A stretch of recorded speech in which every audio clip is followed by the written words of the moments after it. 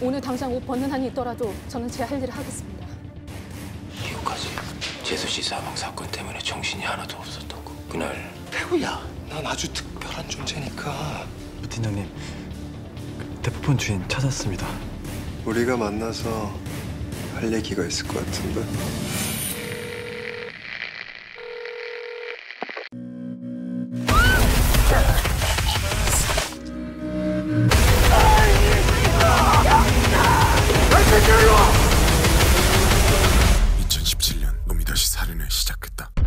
Connor.